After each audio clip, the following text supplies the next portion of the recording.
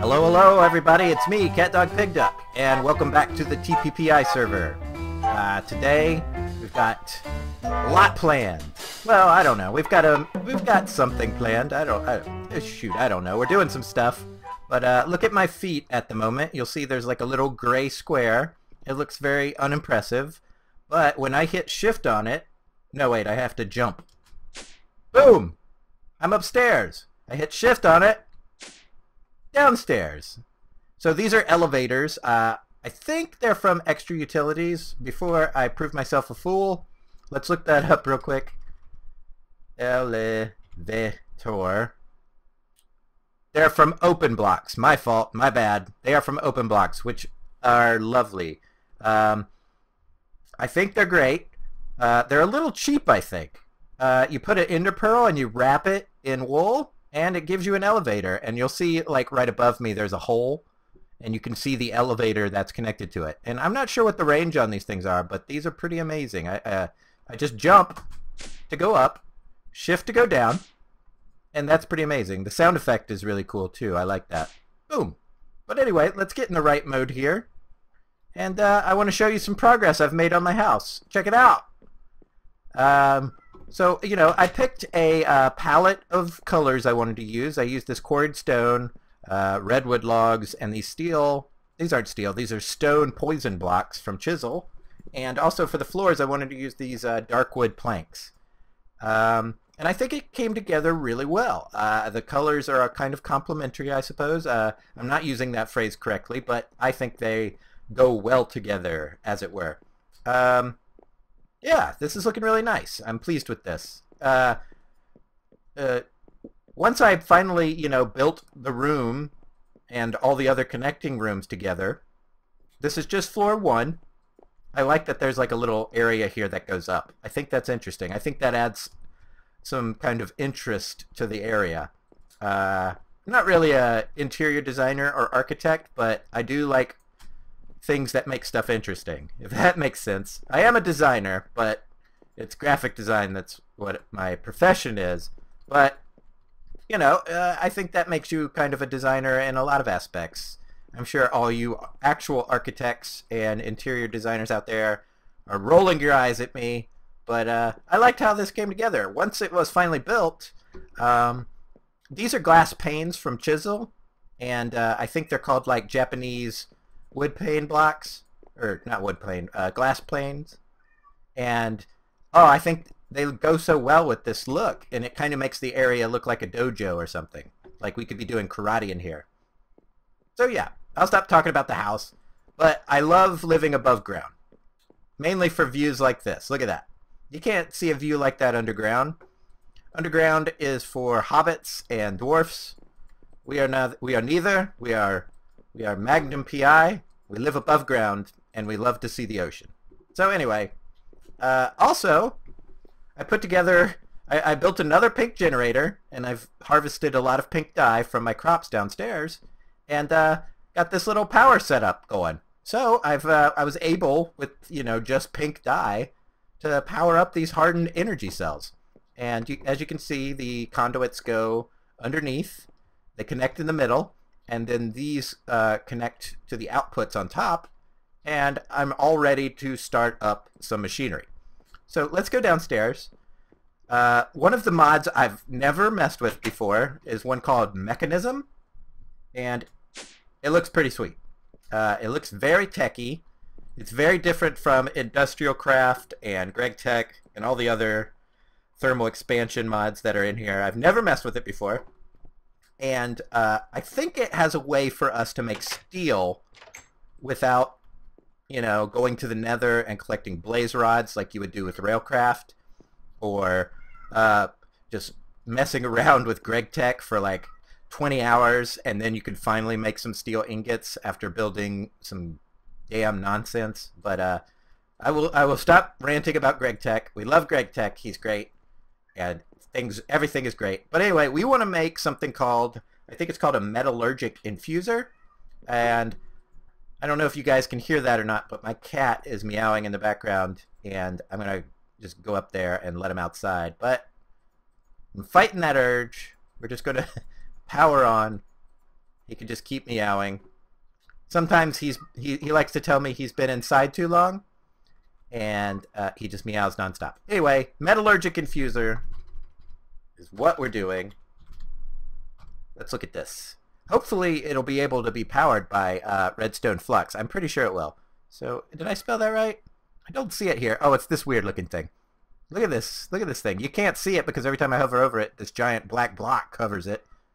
But uh, it requires iron, redstone, furnaces, and something called osmium, which we have tons of. Look at all this. Haven't done anything with it yet because we haven't messed with it. I also upgraded my furnaces to iron furnace, and that was a huge pain in the butt. I had to make like a hammer, and then take some iron and bang it into plates. And, you know, before you just take a furnace and surround it in iron. In the good old days, before before Gregory showed up and just started, hey guys, stuff is too easy. Let's make crap hard. Anyway, I'm complaining. I'm gonna shut up. There we go. So let's see, do we have redstone? We do not. Let's grab some real quick. Let's just grab a bunch.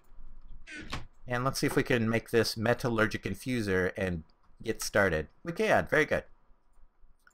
So, I think with this metallurgic infuser, we should be able to put iron in it and turn it into like something called like enriched iron. But let's go ahead and plug it in. Man, look at this thing. I don't even know what I'm looking at. It looks like a car battery connected to like a Pokemon or something. Alright, so you click it open. You've got a lot of slots here and then stuff covered up by NEI, which is annoying. So I don't know what half I don't know what half these things do, but I think I read somewhere I could put iron in here and coal. Wow. Do you hear that? Oh man, this thing makes the best noise. So it's going to do something, and that turns that into enriched iron. So I can't tell if this thing has energy. Oh, okay, good. It is taking a redstone flux. That is amazing. So good. Our little pink energy cells here should be going down. Maybe, maybe not. I don't know. It's either that or the charcoal I put in there is powering it. Carbon 20. Oh, okay, so the uh, coal is carbon. Got it. So that's enriching, turning it into enriched iron. I think then I take this enriched iron, if you can hear me over this. Hello? Okay, good, it stopped. Uh, if I put the enriched iron back in, maybe with some more coal, that turns into steel dust. Uh, let's go get some coal. Do I have any over here in this chest? Negative. Alright, let's go downstairs. Shift. Oh, that's amazing. I love these mods. Open Blocks is a hell of a mod. Way to go, Open Blocks guy. Or gal, I don't know. So let's uh, let's see if this bad boy needs some coal as well. You need coal? It does. Okay, let's see what this makes. Cross your fingers. I think this is going to be steel. Or steel dust, anyway. Steel dust! Awesome, guys. I was running low on the steel that I had found in a dungeon, and now we have a way to make more. And we didn't have to muck around in the nether, killing blazes to make a, you know, a blast furnace for Railcraft, or do a hundred million things with GregTech. So this is a pretty good way to make some steel dust. So now we got to find a way to turn this very specific steel dust into steel ingots. And I think I know, but this is going to be kind of a live test, so this may be a dramatic failure. And uh, you guys, you guys like seeing me fail. Let's go ahead and put the rest of this iron in here. We'll let it do its business. But I think in my Tinker's Construct smeltery downstairs, I can put this steel dust in and smelt it up there. And then I'll have steel ingots and I can make myself another I can make myself another drum. Uh, one of the problems I'm having at the moment is that these coke ovens are full of creosote oil, and I've got nothing to put them in. I've got too much creosote oil. Yeah, poor me, right? Okay, so I've got some stuff in here already, but let's see what happens when I do this. Oh, they are working. Do I have enough? I, I have plenty of lava. Oh, great, guys. I am so stoked. Let's let that smelt, and we'll go upstairs and get some more.